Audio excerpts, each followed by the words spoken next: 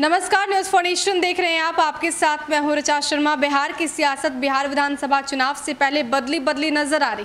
हमने हर दौर देखा पर निशाना साधा जाता था। उसके बाद ट्विटर के माध्यम से ट्विटर वार छुड़ता था। एक दूसरे पर जब भी कोई तंज कसना होता था तो कोई भी ट्वीट कर देता है।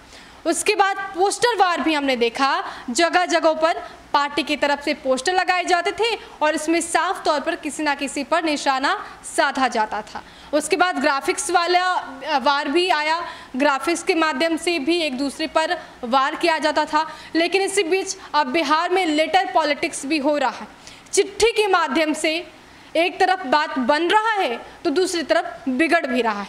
हम ऐसा क्यों कह रहे हैं? ये बताने की कोशिश करते हैं, लेकिन उससे पहले समझिए क्योंकि राजद के वरिष्ठ नेता रघुवंश प्रसाद सिंह ने पार्टी से इस्तीफा दे दिया। उन्होंने लेटर लिखा और साफ़ तौर पर ये बता दिया कि अब वो पार्टी में नहीं बने रहेंगे। पार्टी से वो उब चुके हैं और अब इस्तीफा दे रहे हैं। सिर्फ़ एक ही लेटर नहीं, बल्कि अपने कपकपाते हाथों से रघुवंश प्रसाद सिंह ने दूसरा भी लेटर लिखा। लेकिन ये लेटर लालू प्रसाद यादव को नहीं, बल्कि बिहार के सीएम नीतीश कुमार को लिखा। इस लेटर में उन्होंने तीन बातों की मांग की है, जो नीतीश कुमार ने पूरा नहीं किया।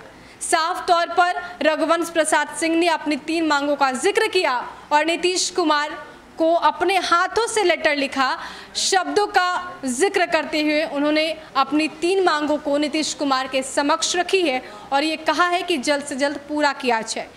इस लेटर में रघुवंश प्रसाद सिंह ने कौन सी तीन मांगों का ज़िक्र किया है, वो आपको बताते हैं।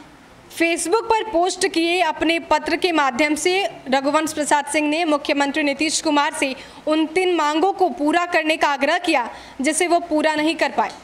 इनमें पहला गणतंत्र भूमि वैशाली में झंडोत्तोलन करने और भगवान बुद्ध के भिक्षा पात्र को काबुल से मंगवाने की मांग के साथ ही मनरेगा कानून में आम आदमी को ज़मीन में काम करने का संशोधन अध्यादेश लाने की मांग शामिल है। कोविड 19 संक्रमण के कारण बिगड़ी तबियत के कारण रघुवंश प्रसाद सिंह दिल्ली के अखिल भारतीय आयुर्विज्ञान संस्थान यानी कि एम्स में भर्ती हैं। वहीं से उन्होंने पत्र अपने लेटर पैड पर लिखा और इसे फेसबुक पर पोस्ट किया। मुख्यमंत्री नीतीश कुमार के नाम लिखे अपने पत्र में उन्होंने मनरेगा कानून में सरकारी और एस सी की ज़मीन में प्रबंध का विस्तार करते हुए उस खंड में आम किसानों को ज़मीन को भी काम में जोड़ने का आग्रह किया। उन्होंने ये भी आग्रह किया कि इस आशय का अध्यादेश तुरंत लागू कर आने वाले आचार संहिता से बचा जाए। सीएम नीतीश कुमार से दूसरी मांग में उन्होंने वैशाली को जनतंत्र की जननी और प्रथम गणतंत्र कहते हुए आग्रह किया कि 15 अगस्त को मुख्यमंत्री पटना में और 26 जनवरी को वैशाली में राष्ट्रध्वज फहराने का निर्णय कर इतिहास की रचना करें। उन्होंने इसके लिए साल 2000 के पहले झारखंड बंटवारे का ज़िक्र किया और कहा कि 26 जनवरी को पहले रांची में झंडोत्तोलन होता था। वहीं तीसरी मांग में रघुवंश प्रसाद सिंह ने भगवान बुद्ध के पवित्र भिक्षा पात्र को अफ़गानिस्तान से वैशाली लाने की अपील की। उनका कहना है कि भगवान बुद्ध अंतिम वर्षावास में वैशाली छोड़ने के समय अपना भिक्षा पात्र स्मारक के रूप में वैशाली वालों को दिया था। आपको बता दें कि रघुवंश प्रसाद सिंह ने इस मुद्दे को लोकसभा में भी उठाया था। साथ ही बिहार के मुख्यमंत्री, सिंचाई मंत्री और प्रधान सचिव को पत्र लिखकर तीन कार्यों को पूरा कराने की मांग उन्होंने की। इसको लेकर जेडीयू संसदीय दल के नेता ललन सिंह के नाम भी चिट्ठी लिखी है। इसमें मुजफ्फरपुर वैशाली में गंडक नहर पर पुल बनाने और सड़क निर्माण के साथ अन्य निर्माण की मांग भी की गई है।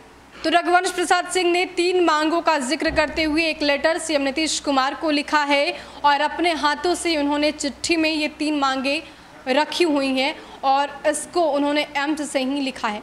आपको बता दें कि इससे पहले रघुवंश प्रसाद सिंह ने लालू प्रसाद यादव के नाम एक चिट्ठी लिखी।